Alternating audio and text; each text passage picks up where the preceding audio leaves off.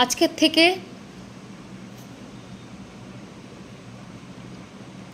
শুনেছিলাম ছোটোবেলায় যে কিছু বলা, কিছু দেখে ফেলা, কিছু শুনে নেওয়া, সেগুলোকে যদি চুপচাপ নিজের মধ্যে রাখা যায়, তাহলে নাকি সমস্ত অশান্তি, সমস্ত কিছু ভুলে যাওয়া যায়।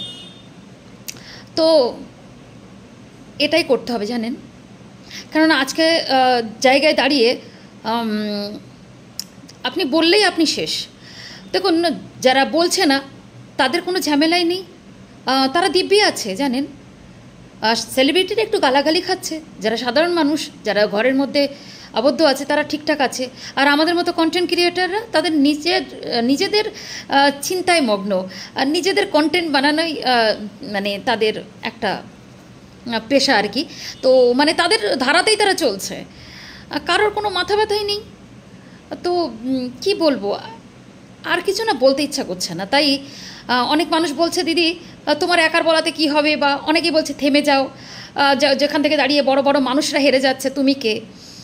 ভেবেছিলাম যে আমার সাথে মনে হয় অনেকেই আছে।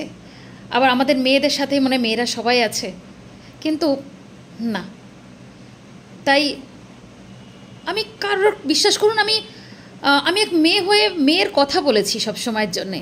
কিন্তু কোনো সময় কোনো পলিটিক্স কোনো রকমের মানে হয় না যে কোনো রকমের কারোর ওইভাবে বিরোধিতা আমি করিনি। কারণ আমার যে চাওয়াটুকু আমি সেইটুকু চাইব। আমার যে এখতিয়ার সেইটুকুর মধ্যে আমি লিমিট থাকি।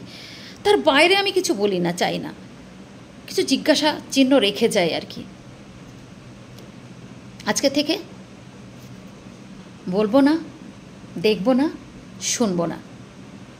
এটাই এই যুগের সবথেকে বড় পলিসি আমার মনে হয়।